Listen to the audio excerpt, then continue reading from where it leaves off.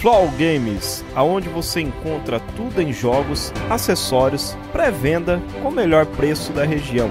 Link na descrição. Fala aí pessoal do YouTube, beleza?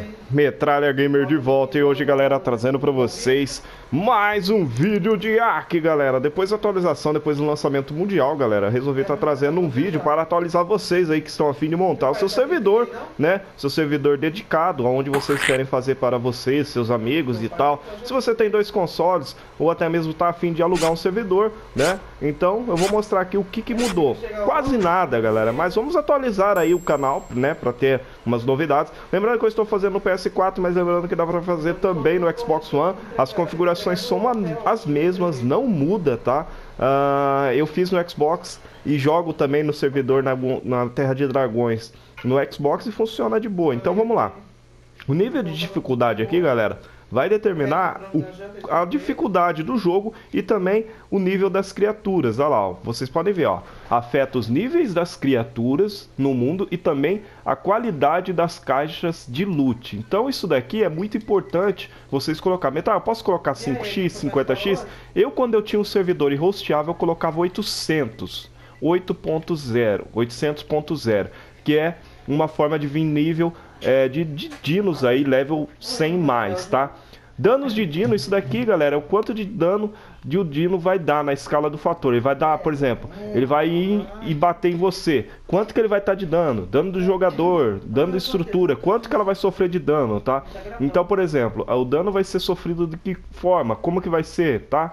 Vamos lá. Resistência do jogador eu diminuo um pouco, tá? Eu coloco aqui mais ou menos aqui, ó por exemplo, um 4, quer dizer, ele vai resistir mais a, a, dano. Se você quiser que ele fique imortal, basta você jogar aqui no zero, tá? Mas aí não fica legal. Então vocês podem deixar um 6 aqui para ficar bacana, para não ficar tão ruim, tá ligado? Então vocês colocam aí diminui para 0.6, que ele vai ficar com a resistência bacana. Multiplicador de XP, galera. Isso daqui é muito importante. É o quanto que ele vai subir os pontos de engrame dele. Como assim, Metalha? Por exemplo, você quer que ele suba bem rápido o XP, você aumenta. Então isso daqui significa o quanto de X ele vai subir. 10x, 20x, 1x. Ou seja, o oficial é 1x. Lembrando que você pode colocar até 1000x aí, que não vai mudar em nada, assim. Vai, vai apenas ir mais rápido, tá? Quando eu digo não vai mudar em nada, assim, eu quero dizer, você pode colocar a quantidade que quiser, que ele vai subir o quanto você pôr. Porque tem muitos lugares que não deixam você colocar aqui, não deixa você digitar, tá? E automaticamente isso aí é ruim. Mas aqui ele deixa você digitar tudo. A velocidade de domesticação é o quão velocidade você vai domar o seu bicho. Eu coloco sempre em 7x para não ficar um, uma coisa tão apelativa, mas também para não ficar uma coisa muito demorada, tá?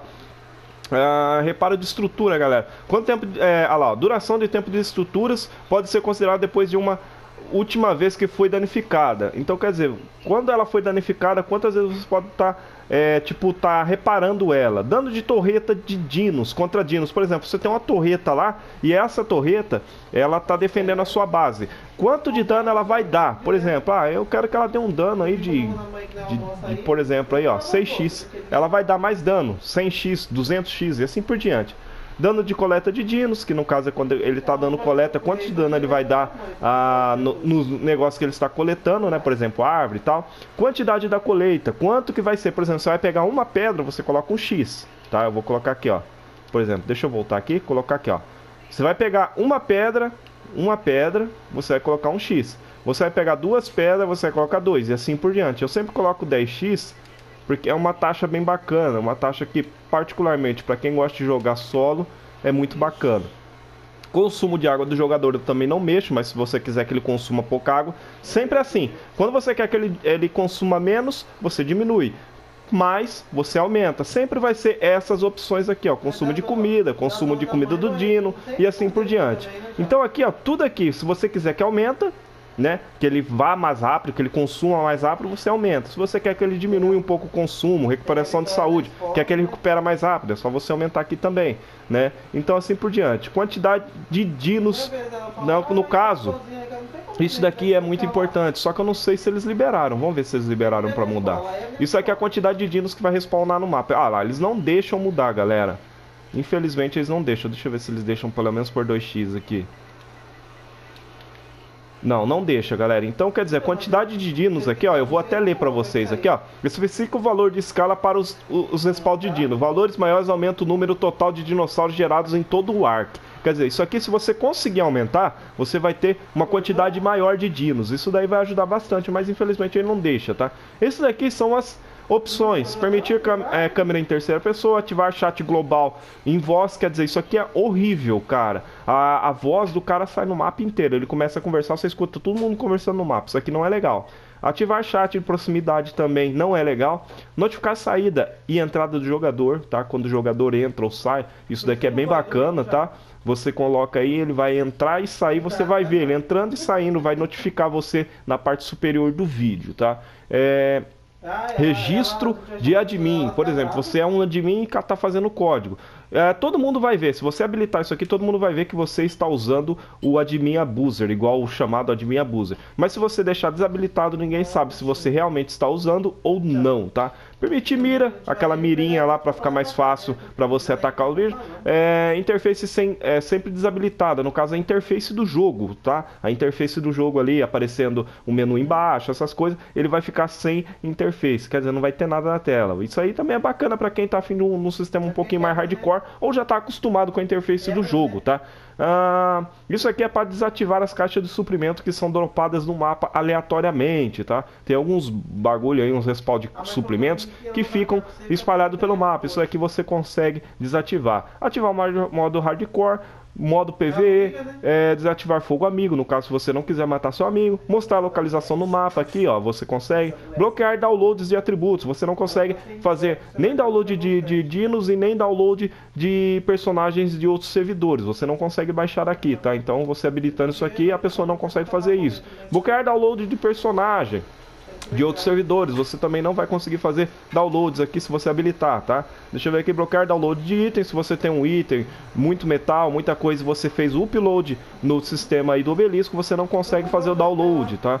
Bloquear download de dino, se você tem um dino muito forte, por exemplo, um Ivern lá do, do mapa que é do deserto, você não consegue fazer pro Tease, assim sucessivamente, tá?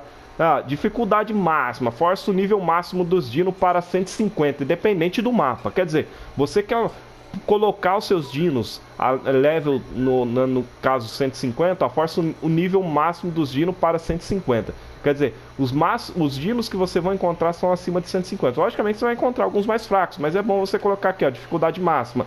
Ativar a gama de PVP, no caso, uh, usar definições de jogo solo, isso modificará as estatísticas e tal, algumas estatísticas, mas não, não, muda tanto. Está ativado aqui, sempre foi ativado. Usar localiza localizador de corpo e assim por diante, galera. Aqui eu acho que não. Ó, é, permitir respeito ilimitado, permitir que os jogadores usem um tônico de lavagem cerebral, no caso, se a pessoa quiser ter a lavagem cerebral. Desativar domesticação. Se você quiser um jogo sem domesticação de dinos, você habilita aqui. Se você não quiser montar nos dinos, você clica aqui também, tá? Isso daqui, galera, é a parte geral. Então, mostrando a parte geral aqui, eu dou uma resumida bem bacana, tá? Então, eu vou estar tá finalizando o vídeo, vou estar tá fazendo em duas etapas. Por quê? Para não ficar tão longo, né? Uh, então, essa daqui foi a parte geral. E eu já vou estar soltando logo um vídeo em seguida para vocês estarem vendo a forma avançada aqui, que no caso é algumas coisas mais detalhadas, beleza? Algumas coisas eu não sei ainda mexer, não vou mentir para vocês não, cara. O bagulho aqui é bem é, técnico, né? Mas o que eu souber passar para vocês, as configurações que eu uso são essas. Então, se vocês quiserem saber mais, se liga no próximo vídeo aí, beleza? Tamo junto, é nóis, valeu!